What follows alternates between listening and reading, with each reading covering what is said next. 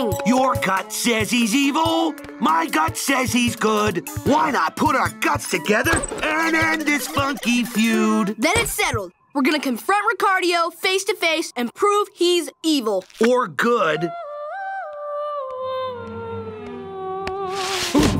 So what are you doing, Ricardio? Are you evil? Or nice with an evil face. That's none of your business. The safety of Princess Bubblegum is my business. Yeah, we just want to know if you're evil or not. Oh, yeah? Yeah. Oh, yeah? Yeah.